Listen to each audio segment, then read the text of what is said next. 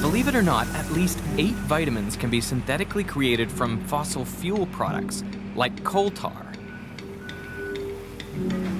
They contain components like acetone, found in nail polish remover, short chain alkanes, found in petrol, and various aromatic rings found in bitumen. The idea is to rearrange these building blocks into more complex chemical compounds, actually building vitamins. Precision matters, as a single bond can alter function. Not all synthetic vitamins come from fossil fuels. For example, if you extract sugars from corn syrup, ferment them with bacteria, and add a chemical reaction, you have synthetic vitamin C.